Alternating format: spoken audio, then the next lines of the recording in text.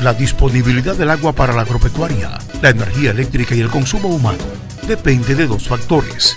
Ríos permanentes con suficientes caudales y un uso racional del líquido.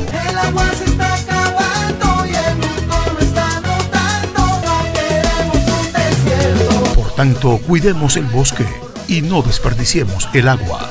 Un mensaje del Centro para la Educación y Acción Ecológica, Naturaleza.